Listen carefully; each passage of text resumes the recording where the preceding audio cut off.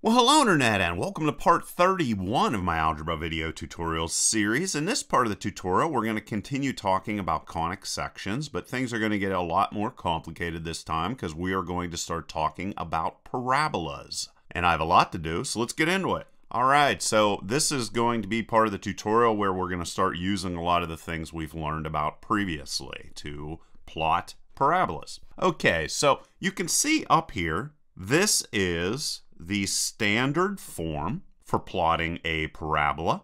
And in this situation, the h is going to represent the horizontal position. As h gets bigger, it is going to move further to the left, and as it gets smaller, it'll move further to the right. And k is going to represent the vertical position. And then, of course, if a is negative, that is going to flip our parabola as we have seen in the past. So what I'm going to mainly focus on here, however, is converting into this standard form. So let's say we have this equation, x squared minus 2x plus 5, and I need to convert it into this standard form. How am I going to do that? Well, what I need to do is I need to complete the square and I'm going to do this by adding and subtracting the same value. So this is going to become y is equal to x squared. And I talked about completing the square previously. And 2x times 1 plus what? Well, that what is going to be the value of 1. And the reason for using 1 here is because 1 is part of the middle term and this is going to specifically be x squared. And now what I'm going to be able to convert this into is y is equal to x squared minus 2x plus 1 squared. Now we must add 1 to both sides. So this is going to become y plus 1 is equal to x squared minus 2x plus 1 plus 5. And we have the rule that a squared minus 2ab plus b squared is equivalent to a minus b squared. So this is going to become y plus 1 is equal to x minus 1 squared plus 5 I'm going to move my constant to the right side. So this is going to become y is equal to x minus 1 squared plus 5 minus 1. And then to put it into its final standard form, we will have y is equal to x minus 1 squared plus 4. And based off of this, we now know that the vertex of our parabola is going to be 1x, 4y. And we can come over here and put a dot right there. That's where the parabola is going to grow from. Then we have something that is called the focus. And the focus is the point about which all of the rays from our parabola are going to converge. And with our standard formula that we have, y equals a times x minus h squared plus k, the focus in this situation is going to be hk plus 1 over 4a.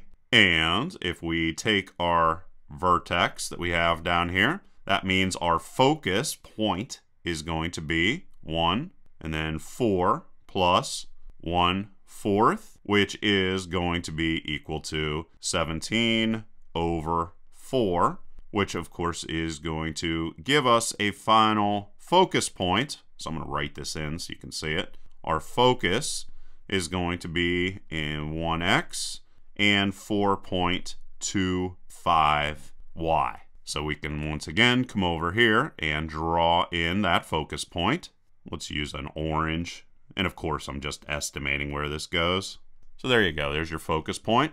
And also I know based off of what I know about parabolas, that the this is essentially just going to simplify to y is equal to x squared and then the value of h and k are going to move around that basic parabola, so I can go and draw in my parabola with that knowledge. So that means I know that I have a point here and a point here. Why do I know that?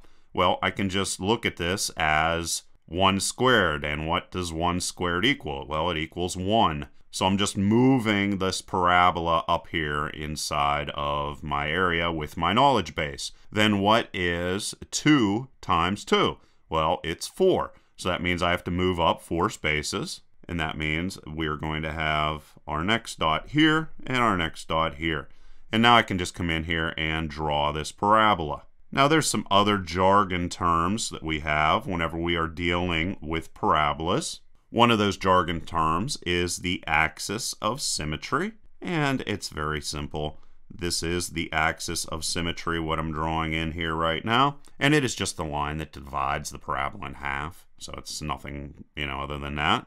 And I'll go and put a special dot right here in red that is going to represent our focus point. And a parabola is basically just all points whose distance from the focus is equal to their distance from another line that is referred to as the directrix. So let's zoom in here so you can really focus in on this. All right, so what we know is we have a point at 4.25 right here, and that is our focus point. I'm not going to bother drawing in the axis of symmetry.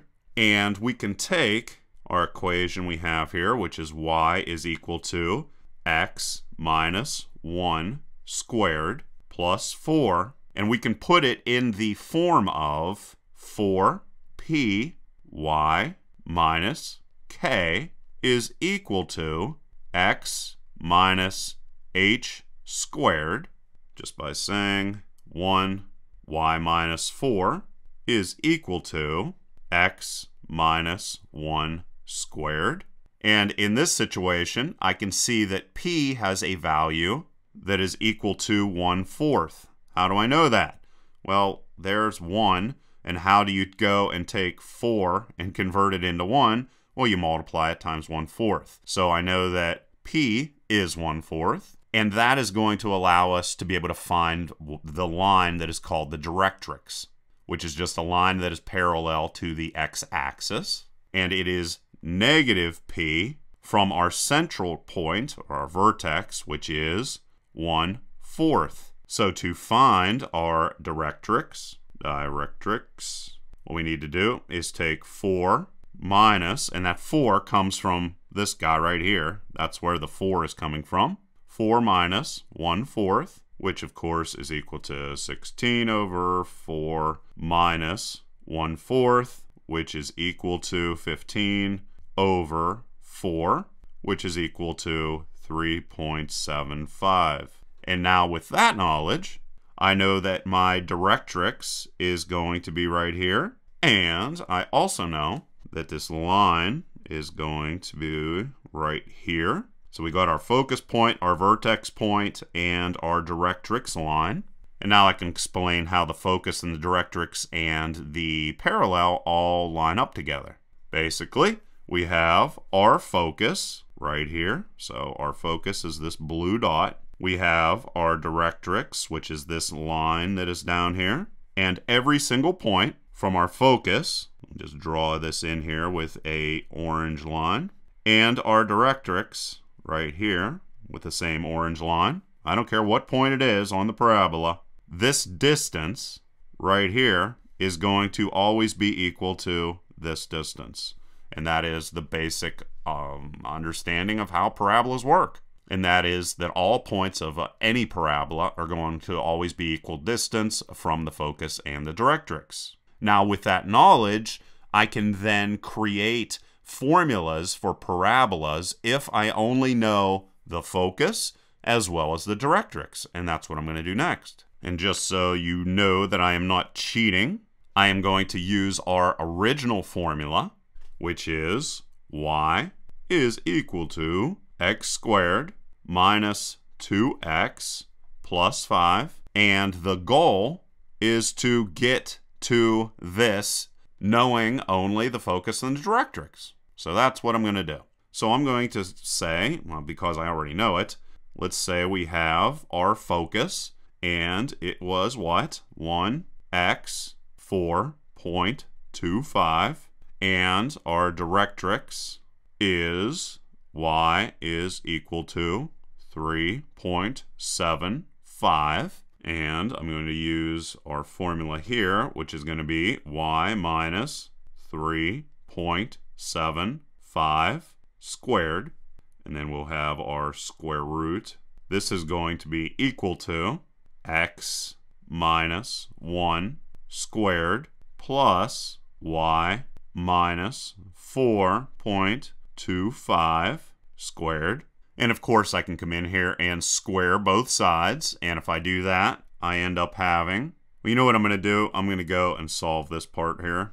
Okay, so let's say I have x minus 1 squared, and I'm going to simplify this, plus y minus 4.25 squared. This is going to be converted into x squared minus 1x minus 1x, and I'm just, this is coming from this part right here. And of course, I'm just taking x times x, and then I'm taking um, x times negative 1, and then x times negative 1, and then negative 1 times negative 1, which gives me 1, okay?